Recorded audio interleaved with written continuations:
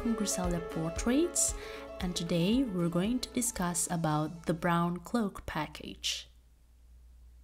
If you haven't already, you may subscribe to my channel and also look back to other previous videos where I have uploaded an overview of Griselda Portraits packages for our photography services. So just to recap, there are four packages right now. The first one is for red roses, which are which is ideal for families and also couples. And then there's also silver arrow for individuals. And then we have the brown cloak, which I will discuss today. And finally, black olives, which essentially is mini session. For the brown cloak, it is inspired by the brown scapular.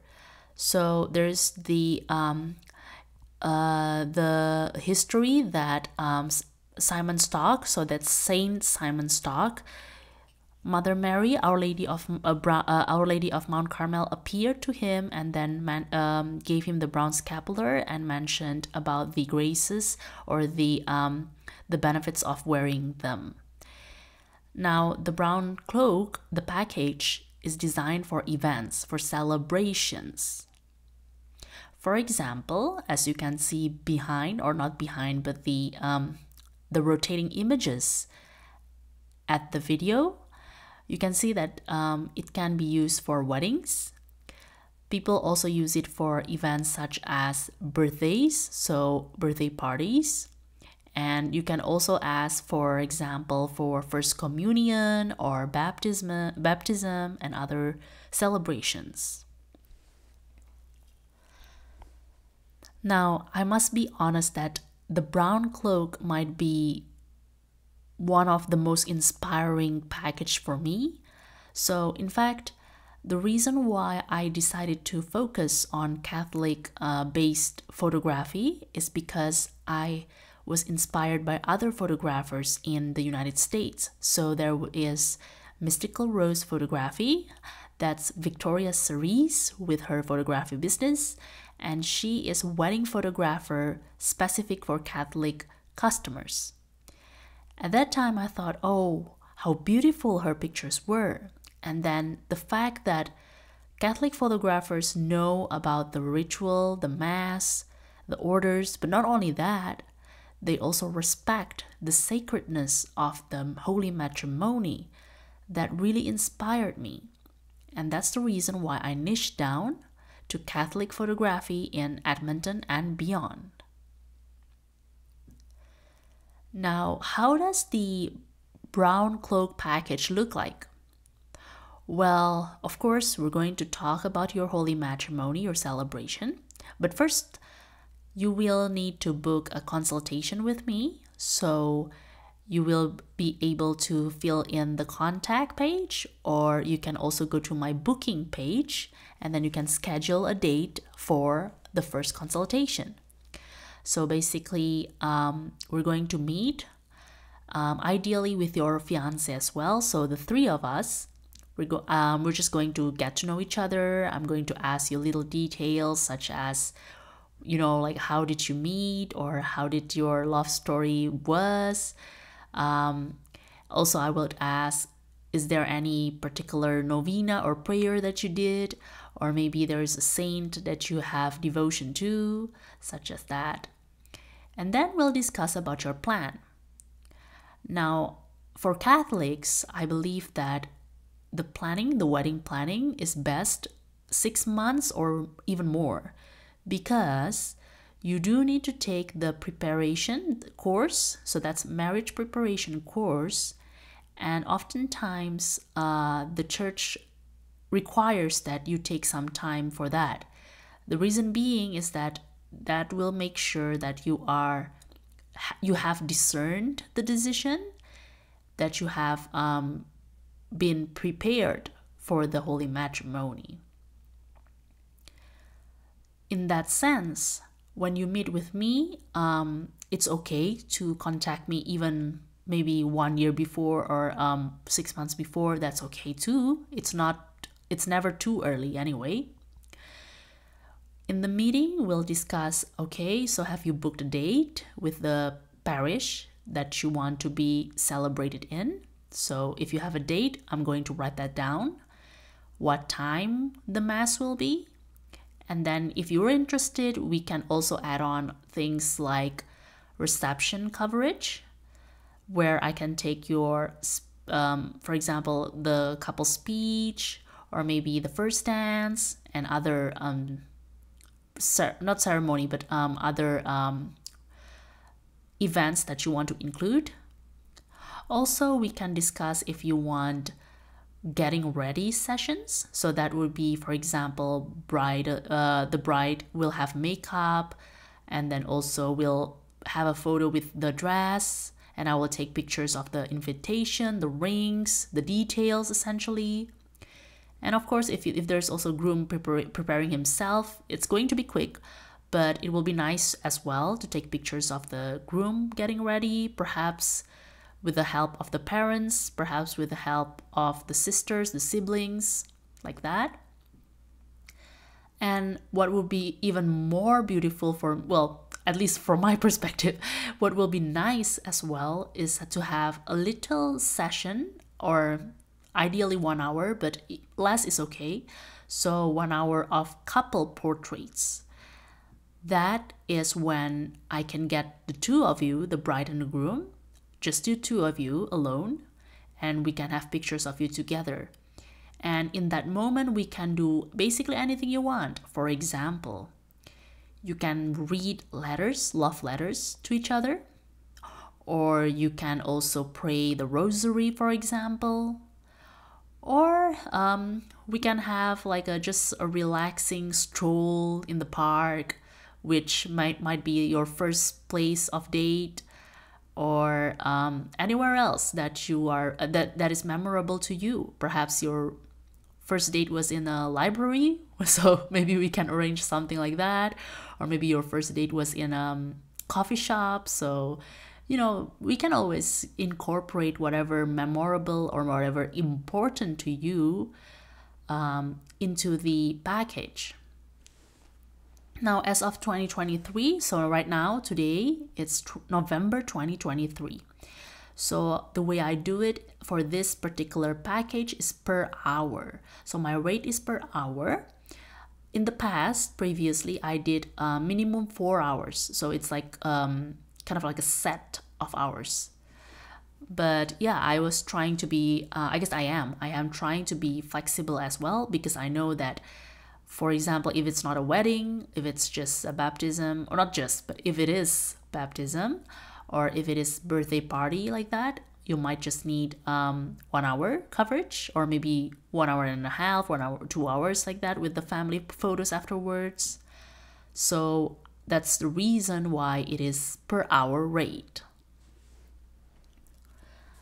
I think some of you might ask the question why do you need to hire a Catholic photographer? I mean, you're here, so that's a good thing. You know now that I am a Catholic photographer, but um, especially for those who are getting married in the Catholic Church, I think it's uh, helpful for sure to have a Catholic photographer because the photographer can help you. So, for example, I've been offering to my clients um, if they need, first of all, prayer, so I can pray for them. But also, if they want me to contact the parish in a sense that I can ask them, oh, we're thinking about taking pictures with the, for example, the statue of Our Lady, and um, will there be any mass after your after the wedding? Or will there be any um, you know will the church be closed after the wedding? So um, i can coordinate with the church in that sense not only that i think it's also my responsibility to ask details to the parish office. For example can i use the flash? Or can i be you know like how how near can i be from the altar? Some some church might have uh, limitations on how near i can be in the altar to the altar. Also for the blessing of the sacrament. So that one is before the uh, sorry before the distribution. So before the um yeah before the the the the the people take the eucharist. So there will be a, a blessing of the sacrament. So some church actually, some churches mentioned that I'm not allowed to take pictures at that point. So whenever the people are kneeling, whenever the uh, yes, whenever the people are kneeling, I'm not supposed to take pictures in that during during that blessing of sacrament. That is to pay respect, of course, because it's a sacred moment. That's when we believe that there's a transubstant uh yes there's a a very important moment that we share together the other part is that of course the tabernacle which can also not be available for pictures. So those kind of details mm, yeah perhaps as as a couple you might be thinking oh that's a lot of questions to ask. But uh, no worries because i will be there for you. I will ask the questions to the church. My favorite thing about taking weddings, well, also taking um, baptism and also birthday parties, I think my favorite thing as a Catholic photographer is the fact that I can see their joy, I can see their um, gratefulness for their um, for the moments that they spent with the family with the loved ones. That's that's beautiful. That's really beautiful. And as a photographer what i can contribute is actually to assure them that i got everything documented. You don't need to worry about it. And just to make sure that they feel relaxed at ease enjoying the time because sometimes when you do celebrations i mean i myself experience it. I was really, really stressed out. So, for example, um, I would be thinking, oh, what to do next? Like, what's next on the schedule? Or I would be thinking, oh, is every does everyone have their food already? Or things like that. And then I think as a vendor, as a photographer, I am able to tell the bride, tell the groom, you know, it's your day also to the parents, for example, if it's a birthday party or a baptism or first communion of their daughters or sons, I would say it's okay, everything is handled, you're fine. So that extra encouragement and assurement, reassurement that God bless us. And that's really powerful, I think. I'm really humbled to be in that position. I think last but not least, I want to mention that the brown cloak is meant to be a celebration of love. It's a reminder that God's love is really beautiful and that we are loved by Him. And so, what is love after all? It's basically self giving and it's an unpopular, I guess, unpopular view because um, the world would say love is the passion, love is where you get what you want, you get what you desire. But I think in Catholic, we believe that it's more than that, it's beyond that. It's when you actually self giving, when you do, like, when you think of the other, like what's best for them, and also as if you're a couple then what's best for the two of you right? Like working together always always. Looking beyond the imperfections and understanding this is more even more important understanding that god is in the relationship. So it's not just the two of you. It's not just the family. Even even family works as well. Like not just the family but there is god there is holy spirit there's jesus in the family as well. So I think that's the most important thing I want to share.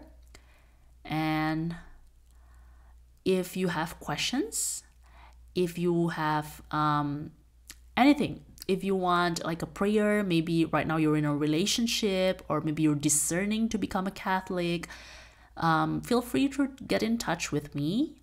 We can pray together definitely. And even if you don't want to meet me, we can also uh, just texting or um, maybe uh, emailing back and forth. We can pray separately. Uh, and I'm very happy that you are here with me today. And I hope that you can consider Griselda portraits to capture your celebrations, to capture the love you shared with your loved ones in the next moment in the next um, event you have. So I thank you so much and I hope that you enjoy this episode. I will see you next time in this YouTube channel and probably we're going to discuss about the red roses next. So stay tuned, subscribe if you haven't already, click the subscribe button and we'll see you next time.